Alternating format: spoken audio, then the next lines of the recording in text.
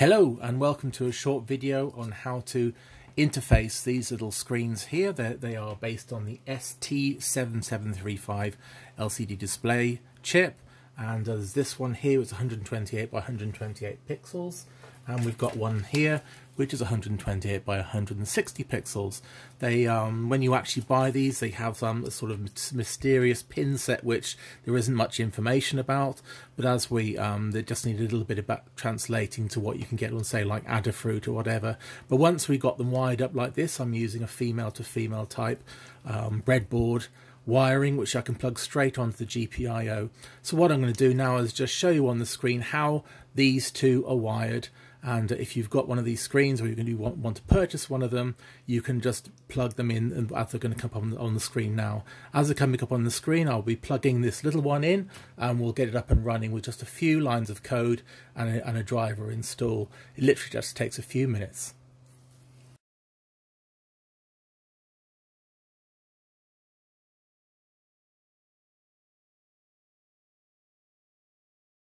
Here we have the wired up um, Raspberry Pi with the screen. It literally just took a, took a couple of minutes to get these these wires in. They're in um, a, a 4x2 array and you can actually put a, a bit of um, insulating tape around them to keep together. But just to make sure that, you know, I, I did have, have the Raspberry Pi turned off. Uh, you never should connect anything when it turns when it's turned on.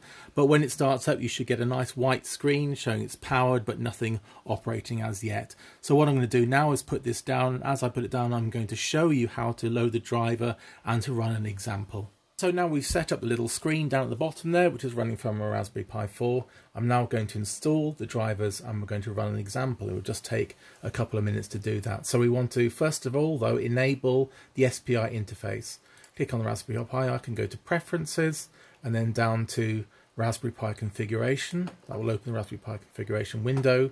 Then go across to Interfaces and we want to enable SPI and then click OK. Next thing we want to do is now install the driver or download it first. So we'll open a terminal window and then we're going to say git clone https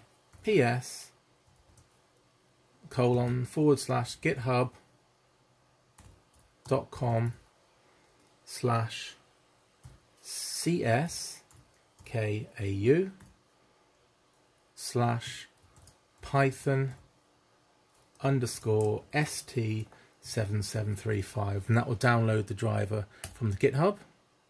That will clone it in.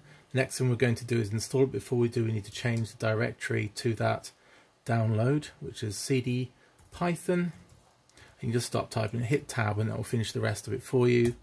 And now you can actually install it with by doing sudo python 3 setup pi install.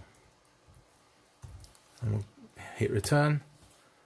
And that will install. And it's installed all the drivers that's now ready to run our little screen. So let's get rid of the terminal window and we're going to run an example. So go back to the file manager and uh, in the file manager on the Pi directory you'll notice Python st7735 directory. Open that up and in there you'll find examples, open the examples and in there we're going to run a little Python script called Pi, sorry, called shapes.py. Before we do that, just make sure that you have um, a Python editor. The one I use, which is very simple, comes with Python with the Raspberry Pi, is Thonny Python IDE. is dead simple, dead easy. And when you double click on the Python script, it will open Thonny. So make sure you have that installed just out of easy use.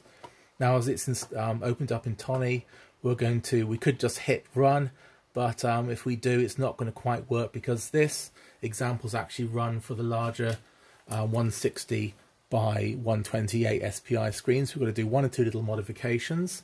You'll notice at the, the top of the file there we have width and height. Um, the, the resolution of the little screen is 128 by 128, so let's change the height to 128.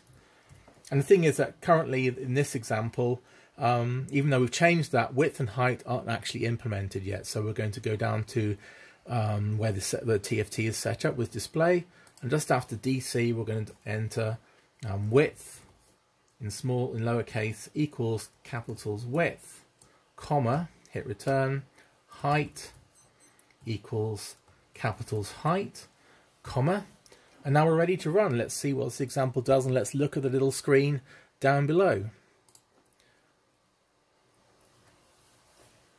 And there we have it. We've got a little um, half a rectangle and a, uh, an ellipse. And um, you'll find in this example here in shapes, there's lots of other bits of code you can try out here. With This is actually part of a much larger display designed for the 320 by um, 640 screen, um, or, the, or the bigger three and a half inch one. Um, but you'll find there's things like rotated text, line drawing, um, you can try different fonts, polygons, line ellip uh, ellipses and rectangles and so on. So there's plenty to play around with and do your own little display for your whatever case you're going to be making, whatever you're doing. So um, and there we have it. So that there's a there's um there's, there's, a great little project which takes just a couple of minutes and as I say these screens are very very cheap starting from two pounds fifty you might have to wait a little while if you get it from China and I know there's also local um, eBayers who will sell a little bit more but if you don't want to wait that long, you, you can um, buy them from there. Anyway, thank you for watching, and I hope that was useful to you.